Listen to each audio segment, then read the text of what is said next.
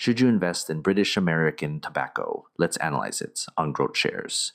This analysis is divided into three factors the business, the stock, and the price. There are a total of 11 metrics that make up the three factors. If you aren't familiar with the grading I use in this channel, I've made a separate video detailing everything. Pause this video anytime.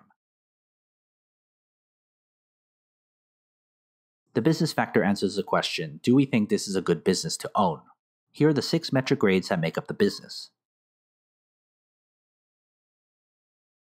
Here's the business grade.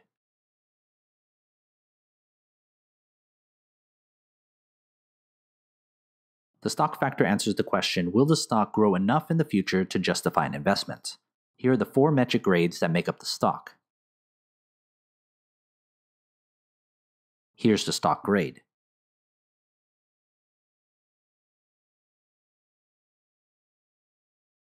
The price factor answers the question What is the most you should pay for the company? Here's the price grade and intrinsic value of the company. Finally, let's put everything together and get our final grade.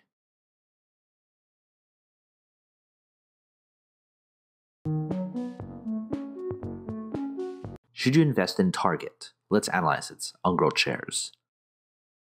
This analysis is divided into three factors the business, the stock, and the price. Within each factor, a total of 11 metrics from business growth, performance to intrinsic value. Each of the three factors and 11 metrics are given a grade from 0 to 99, with 50 to 59 being considered average. When we've got the three factors graded, we combine them to get our final grade. Each company belongs to a specific sector of the economy. My analysis normalizes the data so that you can compare companies between sectors. Most companies will fall into that average range, since most companies are indeed average long term investments. I encourage you to pause this video anytime so you can better understand the numbers. First, let's look at the business. The business factor accounts for 45% of the analysis. The business asks the question Is the company a good business to own? There are six metrics that make up the business factor, from growth and efficiency to market dominance. Each are weighted based on importance to the business.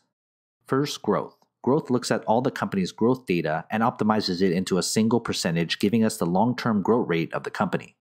The models tell us that a growth rate of 15% is considered average. Here's our growth grade. Next, margins. Margins looks at all the company's dollar output data and optimizes it into a single percentage, giving us the company's output generated for every dollar it keeps for further investments and so forth. The models tells us that a margin rate of 10% is considered average. Here's our margins grade. Third, operations. Operations looks at all the company's ratio data against its market price and optimizes it into a single ratio, telling us how effectively the company is running its business. Simply, is the company wasting money as it conducts business?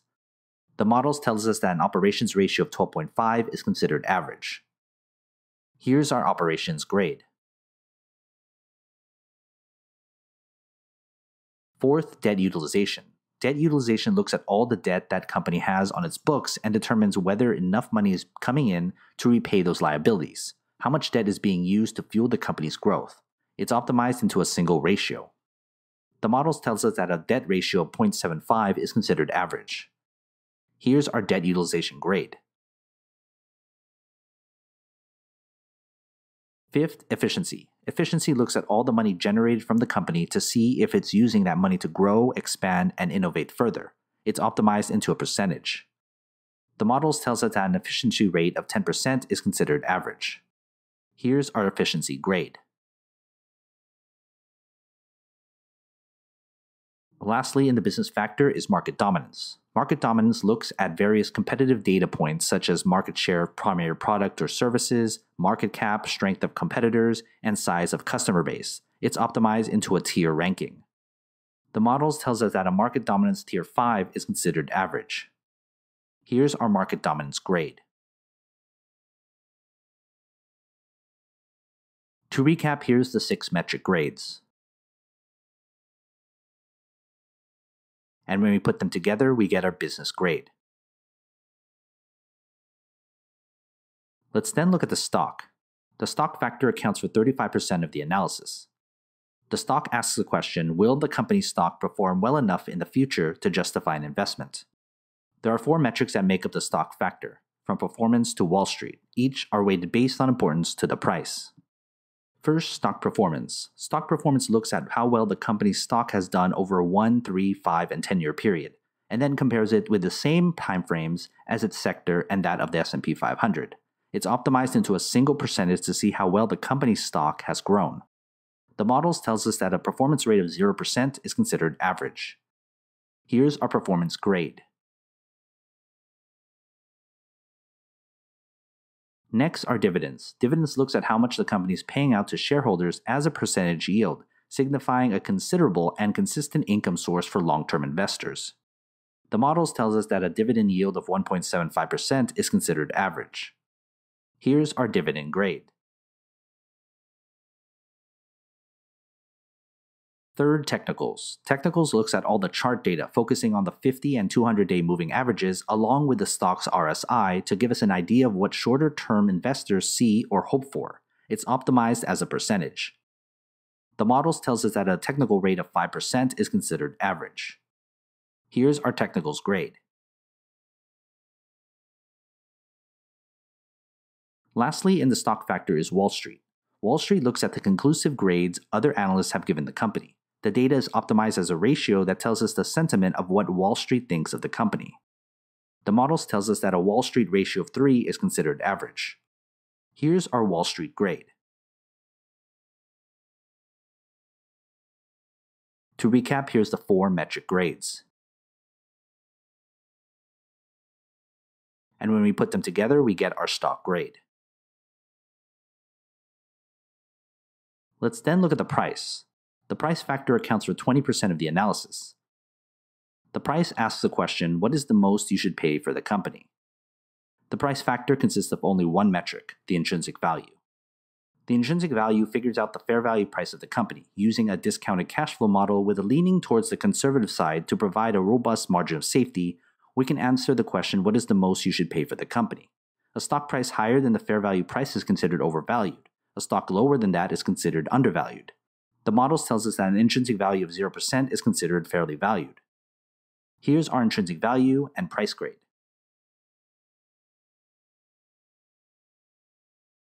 Before we calculate our final grade, consider becoming a Growth Shares Patreon member and get access to my spreadsheet with every grade from every company I've analyzed. It's updated all the time. Head to patreon.com forward slash growth shares or click on the link in the description. By combining the business, the stock, and the price, we can get the overall outlook of the company which gives us this final grade and its type of investment.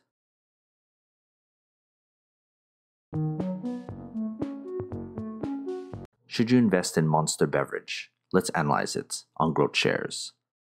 Before we begin, if you aren't familiar with the factors and metrics I use in this channel, I've made a separate video detailing everything to get you caught up. This analysis is divided into three factors the business, the stock, and the price. Within each factor are a total of 11 metrics from business growth, performance to intrinsic value. And because each company belongs to a specific sector of the economy, my analysis normalizes the data so that we can compare companies of different sectors. Each of the three factors and 11 metrics are given a grade from 0 to 99, with 50 to 59 being considered average. When we've got the three factors graded, we combine them to get our final grade. Most companies will fall into that average range, since most companies are indeed average long term investments. I want to stress that this analysis is meant for long term investors. I encourage you to pause this video anytime so you can better understand the numbers. Let's look at the company's business. The business factor accounts for 45% of the analysis. The business is the most important part of this analysis. Everything else should be secondary when it comes to investing long term. The question we want answered is Do we think this is a good business to own? The business is made up of these six metrics from growth, efficiency to market dominance. Each are weighted based on importance to the business factor. Here are the six metric grades for the company. And when we put them together, we get the company's business grade. Now you know whether this is a good business to own or not, so let's then look at the stock. The stock is important because we want to know if investors see value in the same business. We still want a return on our investment. The question we want answered is Will the stock grow enough in the future to justify an investment? The stock is made up of these four metrics, from performance to dividends. Each are weighted based on importance to the stock factor. So here are the four metric grades for the company. And when we put them together, we get the company's stock grade. Now that we know the business and the stock, we want to then look at the price. The stock factor accounts for 20% of the analysis. The price is important because it tells us whether the company's stock price is attractive enough for us to buy in. The question we want answered is what is the most you should pay for the company? The price is made up of only one metric, the intrinsic value, or fair value price of the company's stock. Here's the company's price grade and fair value price per share. Before we calculate our final grade, consider becoming a Growth Shares Patreon member and get access to my spreadsheet with every grade from every company I've analyzed. It's updated all the time. Head to patreon.com forward slash growth shares or click on the link in the description. By combining the business, the stock, and the price, we can get the overall outlook of the company, which gives us this final grade and the type of investment it is.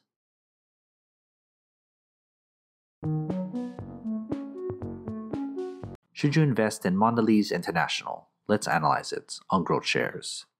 This analysis is split into three factors the business, the stock, and the price.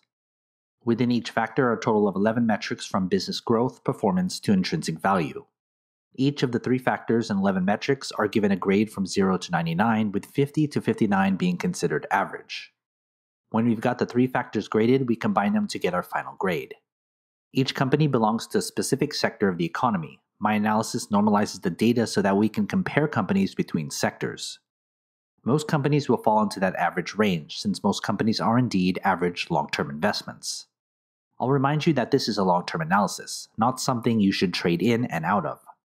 I encourage you to pause this video anytime so you can better understand the numbers.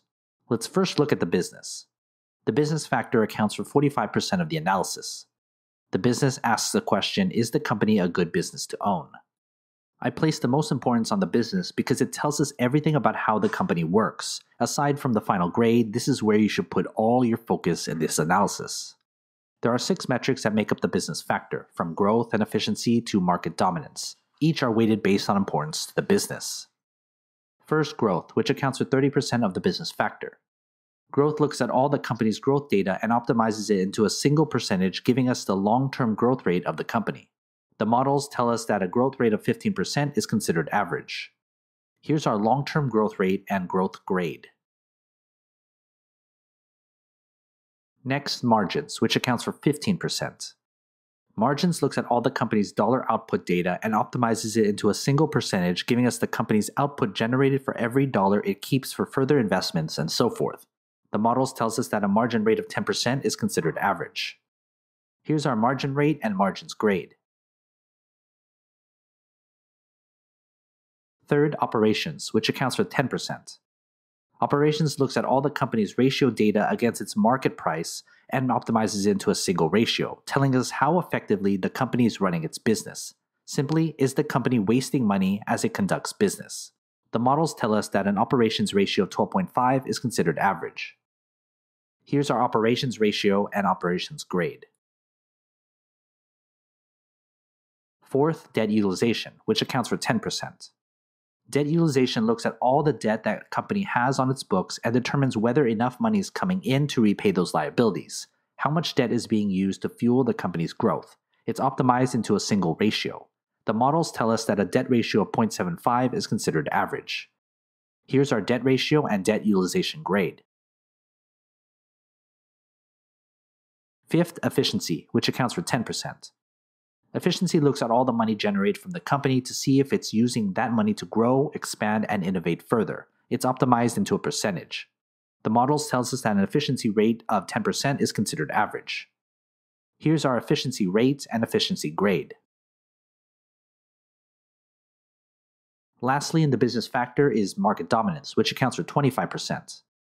Market dominance looks at various competitive data points such as market share or primary product or services market cap, strength, or competitors, and size of customer base. It's optimized into a tier ranking. The models tells us that a market dominance tier 5 is considered average. Here's our tier number and market dominance grade. To recap, here's the six metric grades. And when we put them together, we get our business grade. Let's then look at the stock. The stock factor accounts for 35% of the analysis. The stock asks the question Will the company's stock perform well enough in the future to justify an investment? I place this much importance on the stock because we still want to hold an asset that grows over the long run, and a good history of stock growth and a good entry is key to long term success. There are four metrics that make up the stock factor, from performance to Wall Street. Each are weighted based on importance to the price. First, stock performance, which accounts for 30% of the stock factor. Performance looks at how well the company's stock has done over a 1, 3, 5, and 10 year period, if applicable, and then compares it with the same timeframes as its sectors and that of the S&P 500. It's optimized into a percentage to see how well the company's stock has grown. The models tell us that a performance rate of 0% is considered average. Here's our performance rate and performance grade. Next are dividends, which accounts for 30%. Dividends looks at how much the company is paying out to shareholders as a percentage yield, signifying a considerate and consistent income source for long-term investors. The models tells us that a dividend yield of 1.75% is considered average. Here's our dividend yield and dividends grade. Third, technicals, which accounts for 20%. Technicals looks at all the chart data focusing on the 50 and 200 day moving averages, along with the stock's RSI to give us an idea of what shorter term investors see or hope for. It's optimized as a percentage.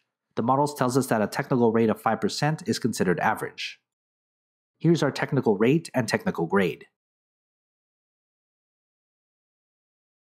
Lastly, in the stock factor is Wall Street, which accounts for 20%.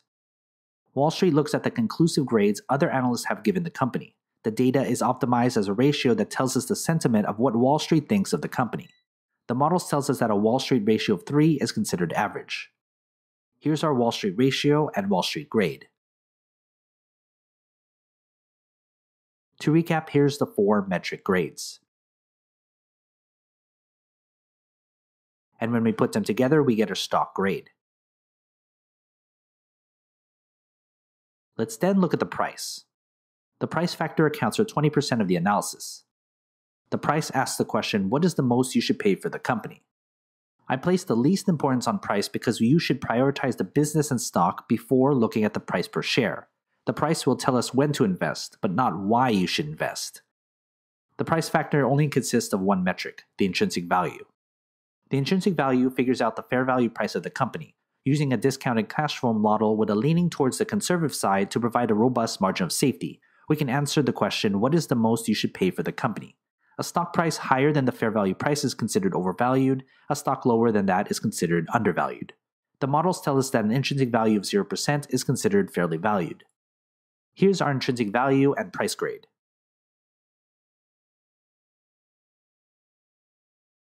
Before we calculate our final grade, consider becoming a Growth Shares Patreon member and get access to my spreadsheet with every grade from every company I've analyzed. It's updated all the time head to patreon.com forward slash growth shares or click on the link in the description. By combining the business, the stock, and the price, we can get the overall outlook of the company, which gives us this final grade and its type of investment.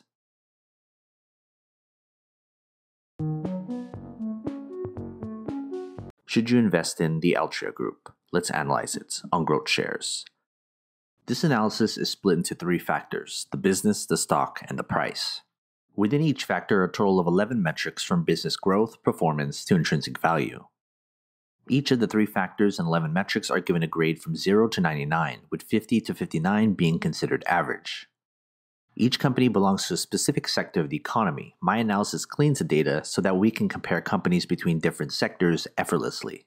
The three factors are then graded and combined to get our final grade. Most companies will fall into that average range, since most companies are indeed average long term investments. Before we begin, there will be quite a few numbers and metrics in this video, so I've made a separate video detailing everything to get you caught up. I encourage you to pause this video anytime so you can better understand the numbers. First, let's look at the company's business factor, which accounts for 45% of the analysis. The business is the most important part of this analysis. Everything else should be secondary when it comes to investing long term. This factor basically asks the questions Do we think this is a good business to own? The business is made up of these six metrics, from growth, efficiency to market dominance. Each are weighted based on importance to this factor. And when we analyze them, we get their metric grades. When we put them together, we get the company's business grade. Next, let's look at the company's stock factor, which accounts for 35% of its analysis. The stock is important because we want to know if investors see value in the same business. We still want a return on our investment. This factor basically asks the question Will the stock grow enough in the future to justify an investment? The stock is made up of these four metrics from performance to dividends. Each are weighted based on the importance to this factor. And when we analyze them, we get their metric grades. When we put them together, we get the company's stock grade. Third, let's look at the company's price factor, which accounts for 20% of this analysis. The price is important because it tells us whether the company's stock price is attractive enough for us to buy in. This factor basically asks the question what is the most you should pay for the company? The price is made up of only one metric, the intrinsic value, or fair value price of the company. Here's the company's price grade and intrinsic value per share. Before we calculate our final grade, consider becoming a Growth Shares Patreon member and get access to my spreadsheet with every grade from every company I've analyzed. It's updated all the time. Head to patreon.com forward slash growth shares or click on the link in the description. By combining the business, the stock, and the price, we get the overall outlook of the company, which gives us its final grade and its type of investment.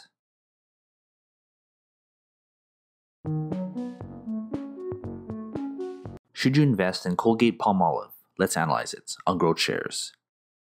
This analysis is split into three factors the business, the stock, and the price. Within each factor a total of 11 metrics from business growth, performance, to intrinsic value.